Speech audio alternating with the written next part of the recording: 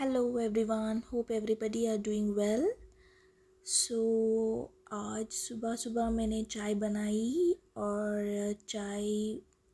के साथ कुछ तो कुछ हमको चाहिए होता है सुबह सुबह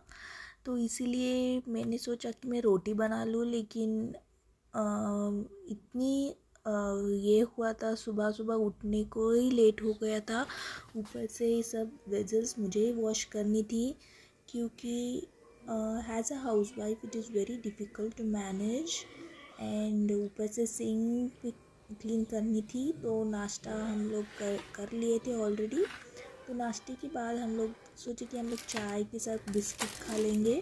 because biscuit is must for us and for our family and then मेरे हस्बैंड लेके गए थे फ्राइड राइस खाने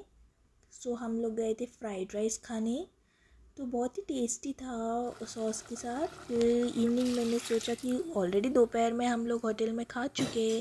तो अभी तो इवनिंग रात का खाना तो घर में बनता है। तो मेरे हस्बैंड लेके आए थे चिकन तो मैंने बनाया था चिकन करी बहुत ही टेस्टी बना हुआ था। Trust me guys then we had chicken curry it with chapati. And thank you subscribers for subscribing my channel. Thank you thank you thank you